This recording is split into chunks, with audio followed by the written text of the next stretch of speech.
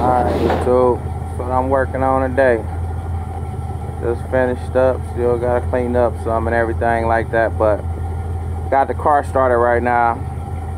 And as on one of my other videos, what I had said what I was gonna do was I was gonna take the middle console and add some gauges to it. And I did, I did. See what them volts at? So, I got the voltmeter in there.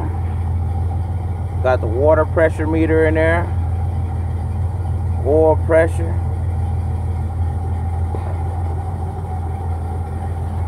And I wrapped around the radio with the gator.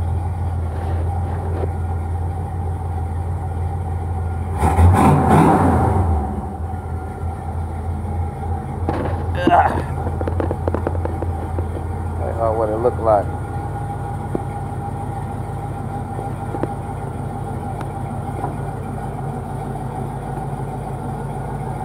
There we go.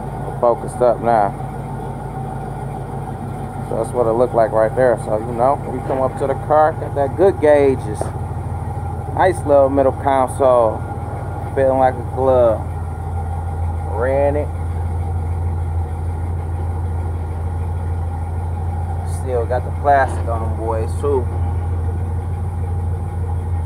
Ooh, I need some lotion on them hands. Ooh, look how clear that boy just got. Take that one off too. Baby, it's like popping tags right here, baby. Huh? Almighty say, somebody.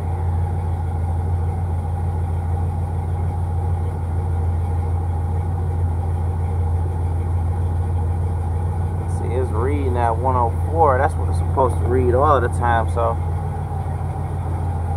keep my eye on to let it run for a while. Let's see if that uh, temperature change.